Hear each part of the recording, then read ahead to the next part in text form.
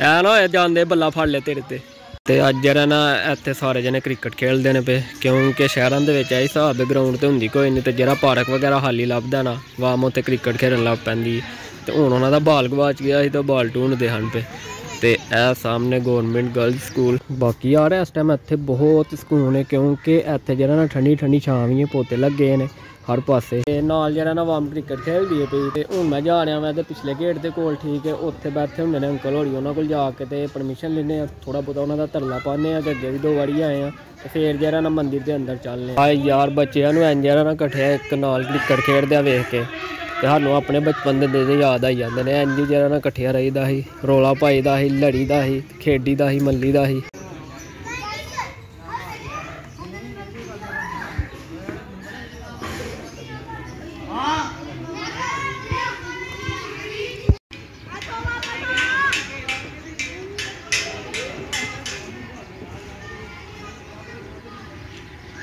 ਤੇ ਯਾਰ ਪਰਮਿਸ਼ਨ ਲੈਣ ਦੇ ਗਏ ਹਾਂ ਭਰਾ ਲੰਕਰ ਹੋਰੀ ਜਿਹੜਾ ਨਾ ਇਹ ਨਮਾਜ਼ ਪੜਨ ਗਏ ਨੇ, ਤਕਰੀਬਨ 15-20 ਮਿੰਟ ਹੋ ਗਏ ਨੇ। ਤੇ ਹੁਣ ਬਸ ਉਹਨਾਂ ਦਾ ਇੰਤਜ਼ਾਰ ਕਰਨੇ ਆ ਤੇ ਤੇ ਫਿਰ ਵੇਖਨੇ ਆ ਕੀ ਬਣਦਾ। ਬਾਕੀ ਤੁਹਾਨੂੰ ਮੈਂ ਅੱਜ ਆਪਣੀ ਡਰੈਸਿੰਗ ਵਹਾਣਾ ਹੀ ਭੁੱਲ ਗਿਆ ਵਾਂ।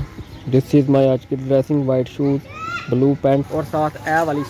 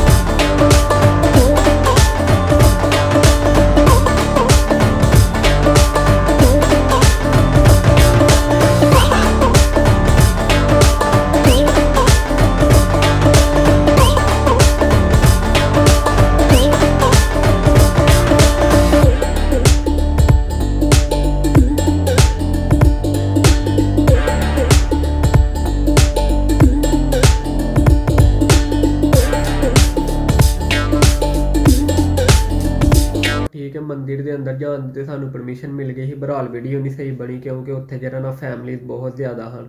ਤੇ ਮੈਂ ਜਿੱਧਰ ਵੀ ਜਾਂਦਾ ਹਾਂ, ਕੋਈ ਨਾ ਕੋਈ ਫੈਮਲੀ ਖਲੋਤੀ ਹੁੰਦੀ ਸੀ ਤਾਂ ਦੱਸ ਜਿਹੜਾ ਨਾ ਵੀਡੀਓ ਐ ਵਾਲੀ ਨਹੀਂ ਸਹੀ ਬਣੀ। ਤੇ ਫੇਰ ਜਿਹੜਾ ਨਾ ਇੱਕ ਵਾਰੀ ਟਰਾਈ ਕਰਾਂਗੇ ਤੇ ਜਾ ਕੇ ਇੱਕ ਵਾਰੀ ਜਿਹੜਾ ਨਾ ਸਹੀ ਕਲੀਅਰ ਵੀਡੀਓ ਬਣਾਉਣ ਦੀ ਕੋਸ਼ਿਸ਼ ਕਰਾਂਗੇ। ਤੇ ਹੁਣ ਜਦੋਂ ਵੀ ਜਾਵਾਂਗੇ ਨਾ, ਉਦੋਂ ਜਾਵਾਂਗੇ ਪਹਿਲੇ ਟਾਈਮ ਕਿਉਂਕਿ ਦੁਪਹਿਰ ਦੇ ਟਾਈਮ ਜਿਹੜਾ ਨਾ ਨਹੀਂ ਜਾਣਾ। ਦੁਪਹਿਰ ਦੇ ਟਾਈਮ ਜਿਹੜਾ ਨਾ ਉੱਥੇ ਫੈਮਲੀਜ਼ ਬਹੁਤ ਜ਼ਿਆਦਾ ਹੁੰਦੀਆਂ ਨੇ। ਤੇ ਤਾਂ ਦੱਸ ਜਿਹੜਾ ਫਿਰ ਵੀਡੀਓ ਸਹੀ ਨਹੀਂ ਬਣਦੀ ਤੇ ਹੈਰ ਕਿਸ ਤਰ੍ਹਾਂ ਦੀ ਲੱਗੀ ਤੁਹਾਨੂੰ ਮੇਰੀ ਵੀਡੀਓ ਮੈਨੂੰ ਕਮੈਂਟ ਵਿੱਚ ਲਾਜ਼ਮੀ ਦੱਸਣਾ ਜੇ ਚੰਗੀ ਲੱਗੀ ਹੋਏ ਤਾਂ ਆਪਣੇ ਦੋਸਤਾਂ ਤੱਕ ਸ਼ੇਅਰ ਲਾਜ਼ਮੀ ਕਰ ਦੇਣਾ। ਮਿਲਨੇ ਅਗਲੇ ਵਲੌਗ ਦੇ ਵਿੱਚ। ਉਦੋਂ ਤੱਕ ਆਪਣਾ ਖਿਆਲ ਰੱਖਣਾ ਤੇ ਸਾਨੂੰ ਦੁਆਵਾਂ ਵਿੱਚ ਯਾਦ ਰੱਖਣਾ। ਅੱਲਾ ਹਾਫਿਜ਼।